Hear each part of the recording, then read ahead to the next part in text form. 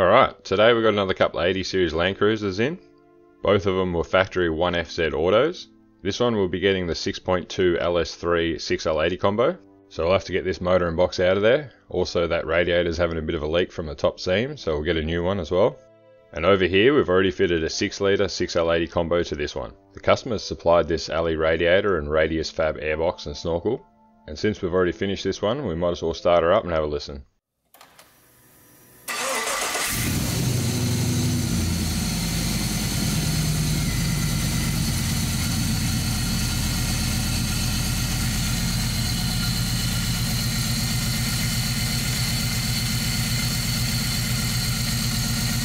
This one's just a standard L98 with no cam, and we'll see how that matches up against this cammed LS3 we'll be fitting to the other one.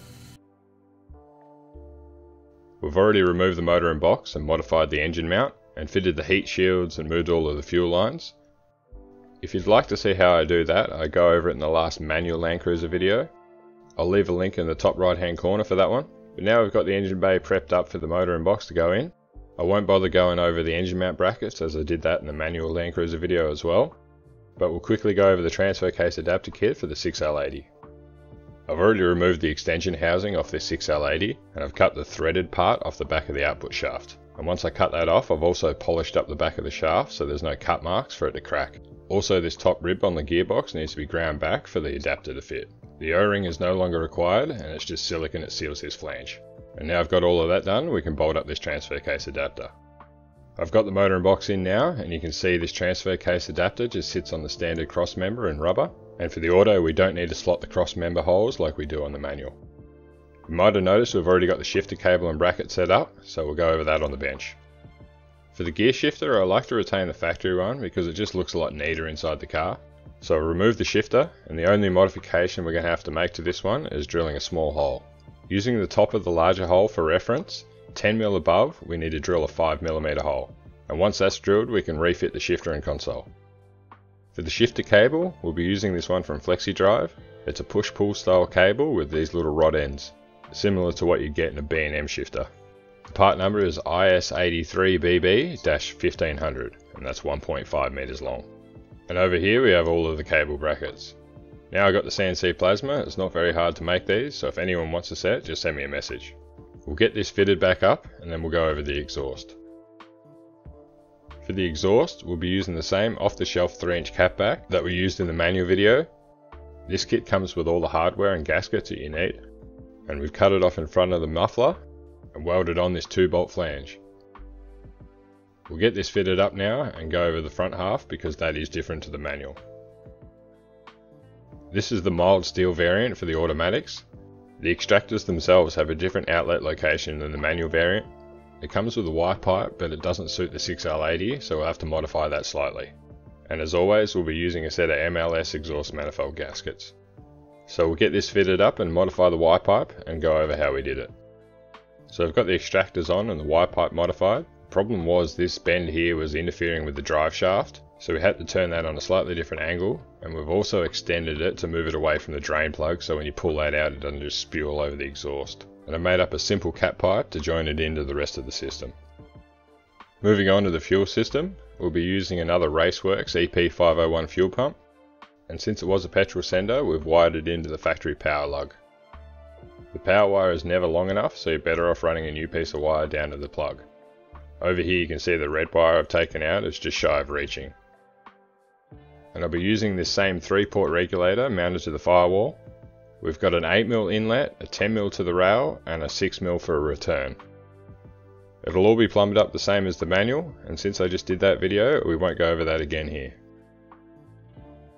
We've picked up a new radiator since that other one was leaking and we fitted a set of VZ SS fans.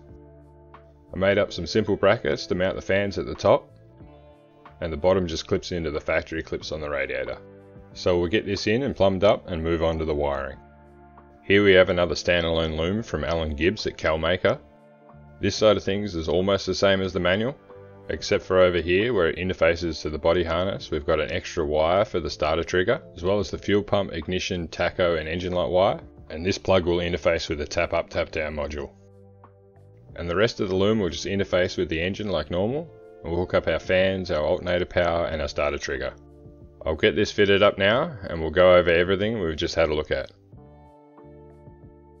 With the wiring loom fitted, we're pretty close to being done now. You can see we've got the radiator and fans in, along with the cooling system all plumbed up. I've used all the same hoses that we did in the manual video. The only difference is the water pump outlet is on the other side, and that results in a slightly shorter top hose. Over on the other side, you can see we've got all of the power steering plumbed up, along with the factory carbon canister that goes to the purge solenoid, as well as the fuel reg mounted to the firewall, and we've got that plumbed up to the fuel rail and down to the factory fuel lines. We've still got to make up the intake and a few other things, but we'll go back to the body loom side of things because that is quite different to the manual variant. This is the 1FZ factory auto loom and I've stripped all of the tape and cable sleeving off. The grey plugs that go to the ECU won't be needed, but the white ones that go to the body harness are. Out of all of the plugs that went to the engine, we'll need to keep this one here that went to the coolant temp sensor, and all of the earth wires. Over here we have the gear selection switch, these wires here control the lights on the center of the dash as well as the reverse lights. And all the rest of this goes down to the transfer case, so we'll be keeping that as well. So we'll go and thin this harness out and depin everything we don't need, and we'll come back. Alright, I've cut out everything that we don't need, and it looks a lot better. On this side we have the loom that goes down to the transfer case, which we'll retain. And on the other side of that plug, we've got our leftover earth wires, and we've fished out this green wire, which goes to the coolant temp sensor. Over here we have our black with a white trace and black with a red trace for our starter trigger. And in this last plug we have all of the wires for the dash lights and reverse light. And in here we have the tacho wire which we'll show you later. So I'll go and tape and sleeve this back up and we'll have a quick look. Alright, we've got our section that goes down to the transfer case all taped back up. As well as our coolant temp and earth wires. And over here we have our other two white plugs that go into the body harness and the starter trigger wires that will interface with Allen's harness. Now I've got that finished up and looking nice and neat, we'll fit it to the car and we'll show you how to wire it up. On the back of the driver's side head is where you fit the factory coolant temp sensor from the 1FZ, and that's where we plug that green wire in we were looking at before. Down on the driver's side inner guard is where we'll find the wiring for the oil pressure switch. The brown and the white wire will need to be extended and run to the back of the engine. And you can see at the back of the engine where we've mounted the 1FZ oil pressure sender, we've just run the wires up to here.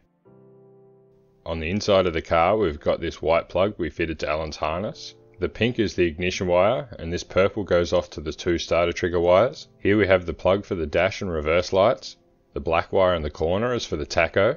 This is one of the differences to the manual whereas this black wire is in the other bigger plug. The red and black wire that comes from this plug is for the reverse lights, and I've wired that into a relay which is powered by this yellow wire. The black wire is the earth trigger which comes from the tap up tap down module. On the other side of the plug it'll be this purple wire in the corner. I'll be using another one of these modules supplied by Allen that we use for most of the auto conversions. These come with a little LCD screen which displays what gear you're in, along with RPM, coolant temp, oil pressure and trans and intake temps. I've got the old overdrive button wired up to switch it between sports and normal mode. And down here we have the switch for the tap up tap down. Once it's in sports mode you can click it up or down to enable the manual shift. And then to get out of manual mode you can just hit the overdrive switch and it'll put it back into normal shift operation. I found a switch that fits in the console so we'll get that fitted back up and then we'll have to take the dash out and do the tacho mod to the back of that. Once I've done that and got the console back in, I'll also have to secure all of this up behind the dash and the ECU will go in the glove box. I've got the dash out of the car now and I've taken off the plastic fascia, along with removing the three screws from the back of the tacho. That allows me just to pull the tacho out, and I've already made the modification and we've jumped these two terminals that bypasses one of the resistors and allows it to operate on the signal from the E38. Now I've got that done, we can put the dash back together and fit it back to the car. Alright, we've got all the wiring done now and we've made up an intake for it. We've also sent it down the road and got the aircon hoses made. I didn't talk about this much earlier, but this is an LS3 6.2 litre and we fitted a VCM 532 cam kit. So it'll be interesting to see how much power it makes against the standard L98 with the same 6L80 combo. So let's fire it up and have a listen.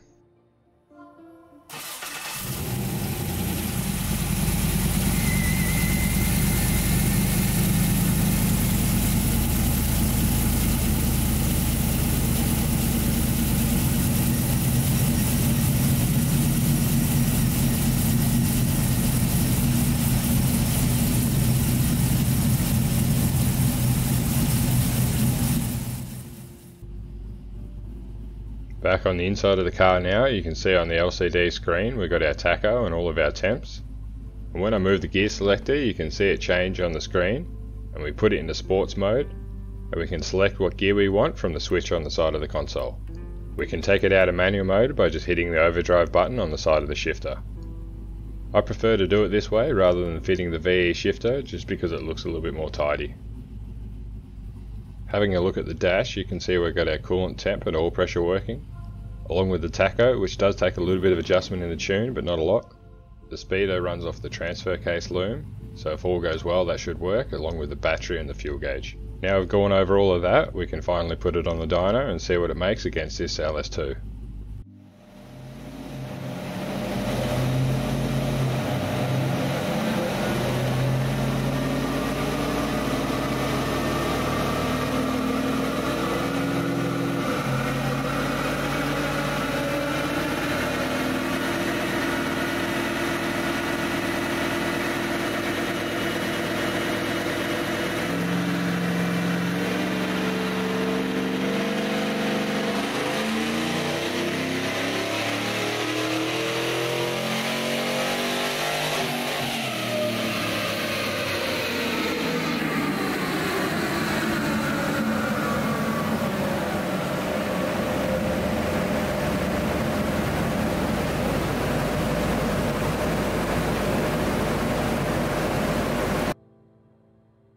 Alright, we made 337 horsepower. It's quite nice for an LS3 with a cam in it.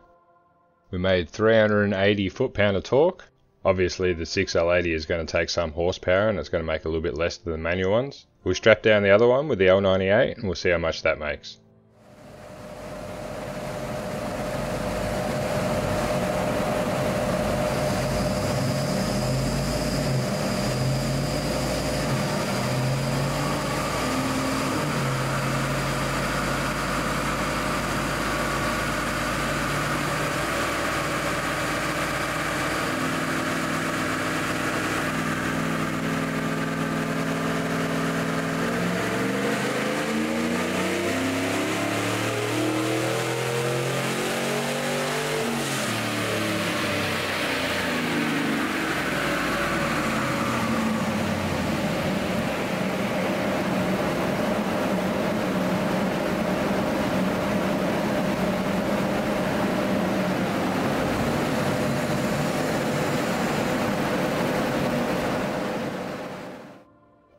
Alright, we made 280 horsepower with a bit over 320 foot-pound of torque. Not too bad considering the manual ones are making just over 300 with the same combo. So we'll get it off the dyno and have one last look outside before we go.